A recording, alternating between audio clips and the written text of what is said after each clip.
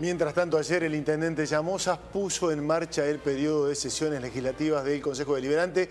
Habló de la obra pública y la necesidad del diálogo.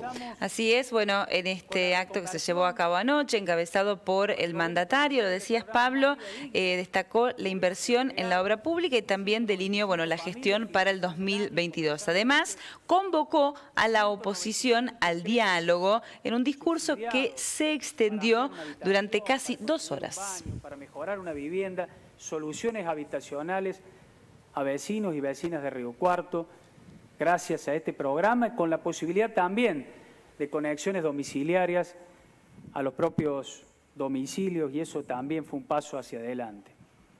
En materia de servicios públicos, pudimos seguir avanzando en esta transformación histórica que tiene la ciudad en materia de luminaria.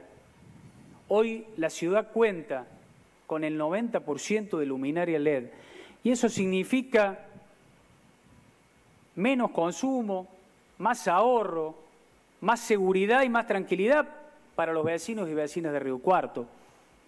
Pusimos en marcha el año pasado más de 100 obras de luminaria en la ciudad, sí, más de 100 obras. Sin dudas, uno de los años que más inversión en materia luminaria ha tenido la ciudad en las últimas décadas. Y eso nos permitió llegar no solo a las plazas y a los espacios públicos que hoy vemos cómo ha cambiado la realidad, eso nos permitió llegar a la...